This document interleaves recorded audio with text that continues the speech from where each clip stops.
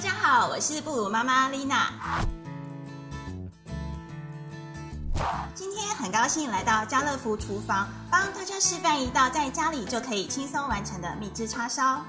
我们今天准备的食材很简单哦，首先是家乐福严选猪肉的梅花肉块。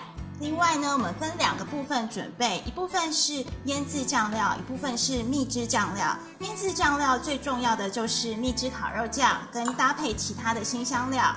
那蜜汁酱的部分呢，我们就准备一比一的呃番茄酱跟蜂蜜。首先，我们教大家怎么样挑选好吃的梅花肉块。油花分布越细密的梅花肉块，烹调起来越软嫩好吃。我们准备一根叉子。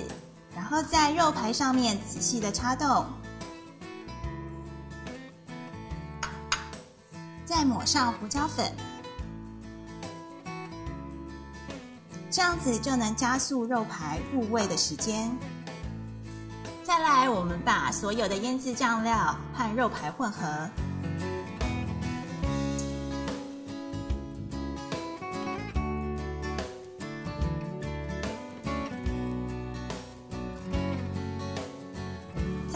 把所有材料放入夹链袋中，这样子呢，我们就可以隔着夹链袋让腌制料和肉排充分混合均匀。接下来，我们把腌制好的肉排放到预热好的烤箱当中，温度设定在摄氏一百九十度到两百度之间，烤二十分钟就可以喽。在等待烘烤的同时，我们可以利用时间来调制蜜汁酱。汁酱的调法很简单，我们用等比例的番茄酱还有蜂蜜混合。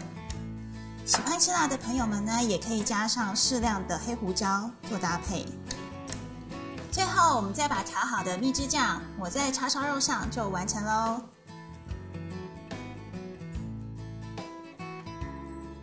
嗯，自制的蜜汁叉烧是不是非常轻松简单呢？赶快一起动手来完成一份专属的黯然销魂饭吧！